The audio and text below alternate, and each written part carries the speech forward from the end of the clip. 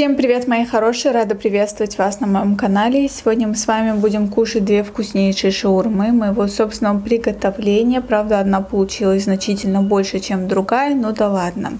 И еще приготовила картошку фри. Рецепт на такую картошку и на шаурму будет внизу. Вы можете перейти и приготовить тоже. Поддержать меня лайком, почему нет? Давайте приступим. Сегодня я встала очень рано и на улице еще было темно.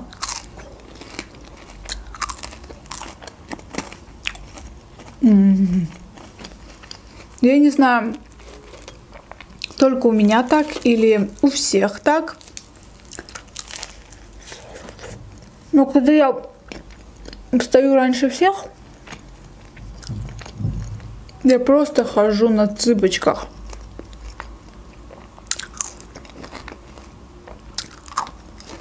Домашние встали в 11, хотя я с 7 на ногах. Когда мои домашние встают рано, это просто звук кастрюль. Сто раз заходят в комнату, выходят.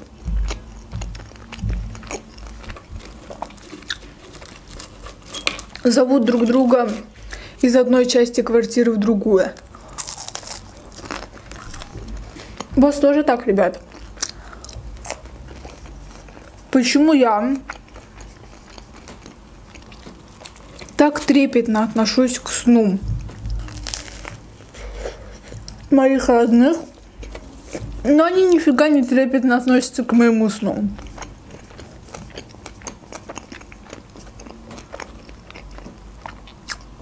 Мама даже не поверила, что я встала рано настолько, представляете?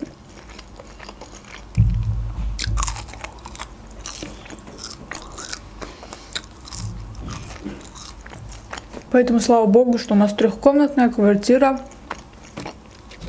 И у каждого есть свой уголочек.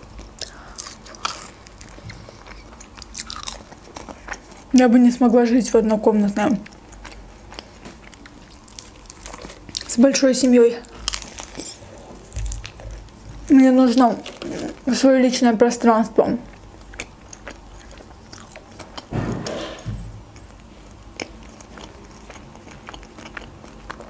Эту комнату, это комната бабушки.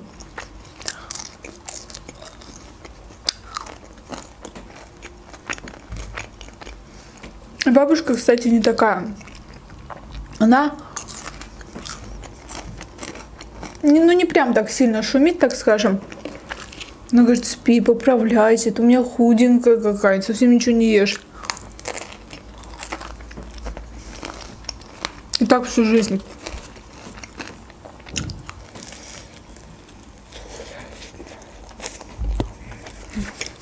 Бабушка всю жизнь внушала мне, что я ужасно худенькая. Что если так пойдет, то меня никто замуж не возьмет. Так и получилось.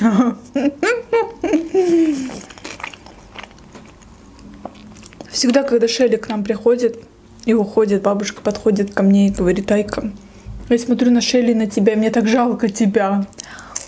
Я говорю, почему? Какая классная фигура у Шелли. А ты такая худая.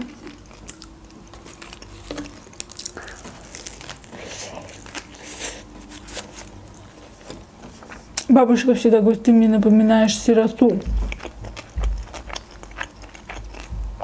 Как будто сирота обязательно должна быть худой. То есть понятие красиво для моей бабушки и для меня это две разные вещи.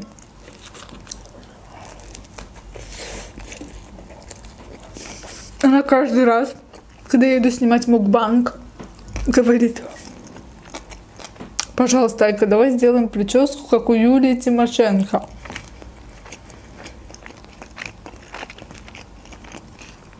Я говорю, бабушка, это не модно. Как-нибудь в одном мукбанке сделаю.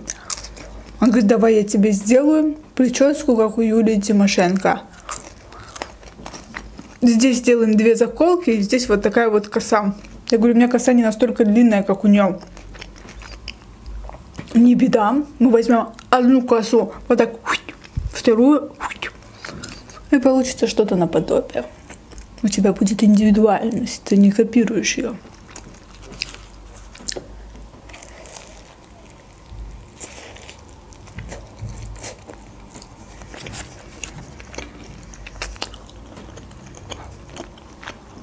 Бабушка обожала всегда Юлю Тимошенко, смотрела новости, и вот реально для нее это был кумир. А у меня папа работает в сфере железных дорог, и он ездил в разные страны, в том числе и в Украину. И бабушка спрашивала, а куда ты в этот раз собрался? Папа говорит, в этот раз Украина. И бабушка такая, так ты едешь к Юлии Тимошенко? Папа говорит, ну почти к Юлии Тимошенко.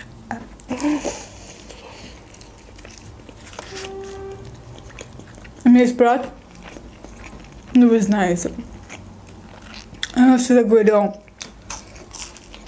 а я хочу, чтобы мой внук женился на Юлии Тимошенко.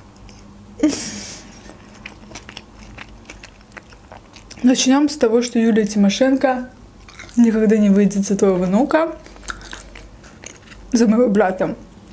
Во-вторых, она годится в матери моему брату. Ничего так? Она говорит, ничего, будет мудрая жена.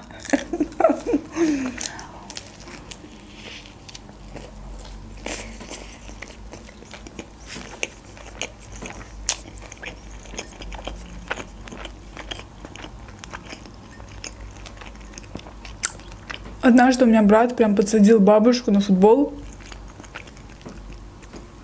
Она не совсем понимала, за кого болеть.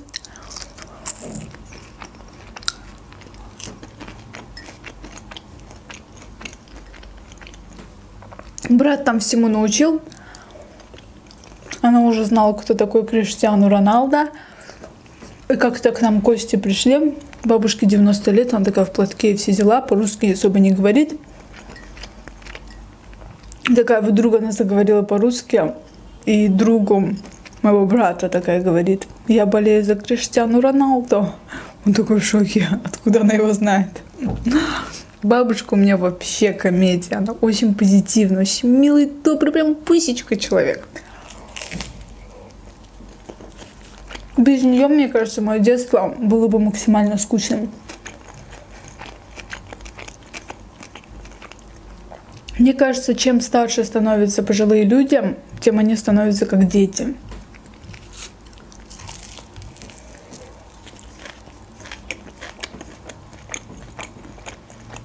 Моя бабушка точно становится как ребенок.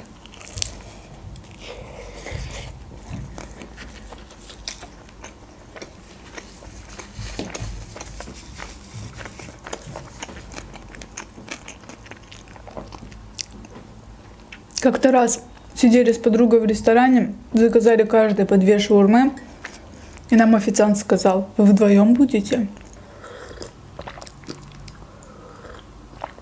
Иногда в ТикТоке там смотрю видюшки макияжа.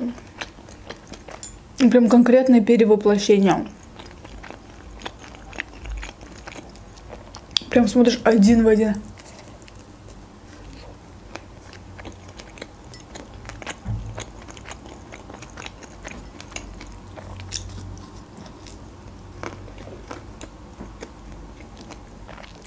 Давайте перейдем к вопросам, которые вы мне задали в Инстаграме. Вот так вот рандомно выбираем один из вопросов. Итак, первый вопрос.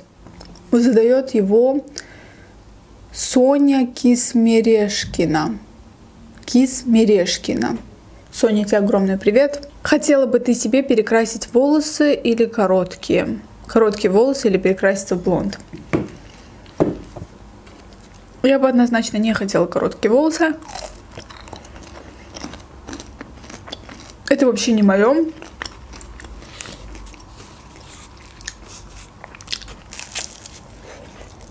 А блонд это была моя давняя мечта. Потом я ее исполнила. Прошло время. Я просто думаю, нет ничего краше естественности.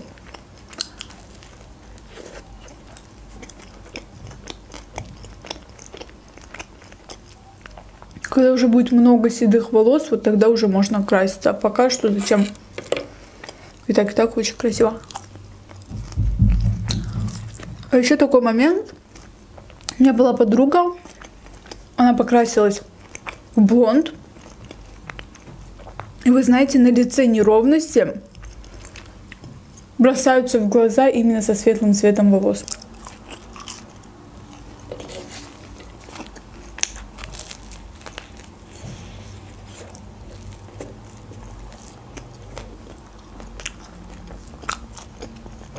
Обожаю шаурму.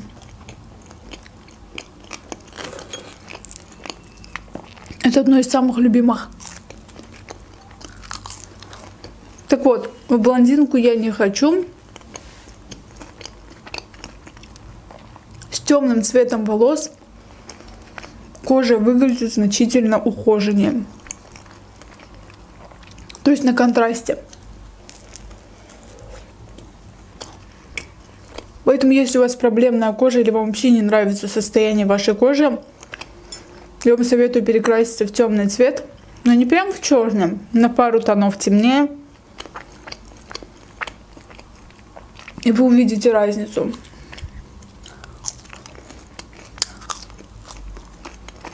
И дело тут не в том, что я боюсь испортить волосы, все дела. Нет. Просто мне не идет.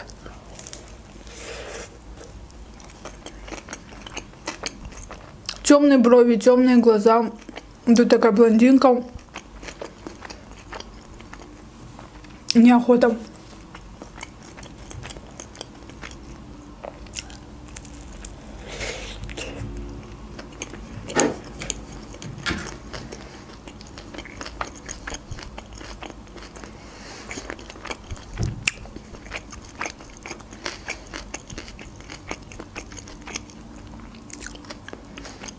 Как в вашей стране относятся к азиатскому типу людей? Хочу переехать в Баку. У нас соседи есть сверху. Причем очень даже хорошо живут. Они вроде как таджики. У них тоже азиатский тип внешности. В Азербайджане нету нацизма вообще. То есть вы себя будете чувствовать здесь как дома. По крайней мере, я никогда не встречала нацизм. Если хотите переехать, почему нет? Я думаю, хорошая идея.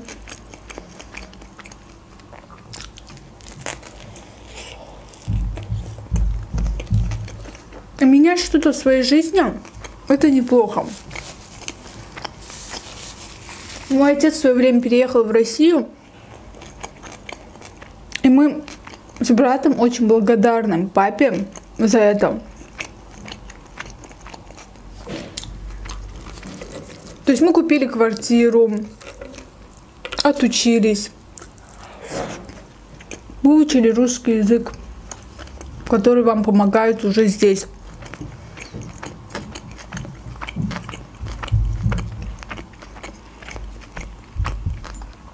В любом случае это будет experience. В любом случае вы увидите новую страну.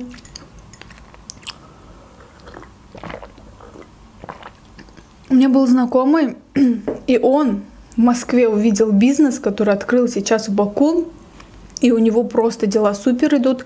Он хотел переехать жить в Москву, но в результате там увидел систему. Я не буду подробно рассказывать, в чем заключается эта система, которой раньше в Азербайджане не было, и он запустил это здесь первым.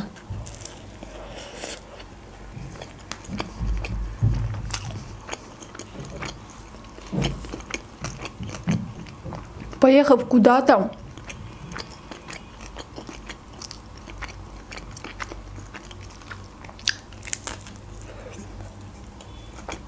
ты можешь найти какие-то новые идеи бизнеса, да и вообще познакомиться с новыми людьми. Мой двоюродный брат, у которого я работаю, Он, например, переехал в Ростов. По-моему, три года он там жил. Но потом вернулся обратно. Потому что, типа, зарплаты маленькие. Не понравилось ему.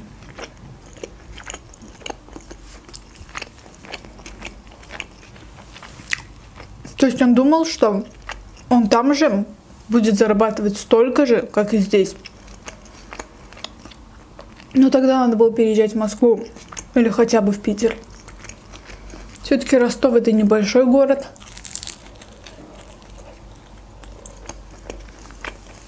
В общем, не получилось, и он переехал сейчас обратно сюда.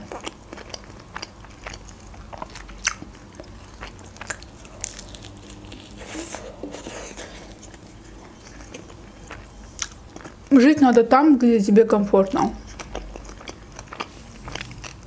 Где ты чувствуешь себя дома. Я в России себя комфортно не чувствовала. Я чувствовала себя чужой.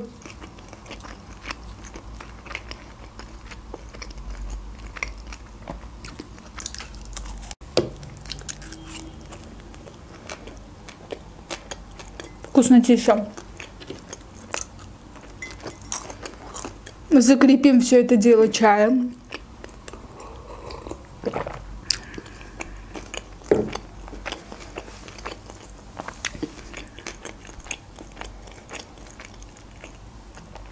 Общем, на этом все, ребята. Было очень вкусно. Спасибо, что досмотрели это видео до конца. Не забывайте подписываться, ставить лайки. Всех люблю, целую. Пока.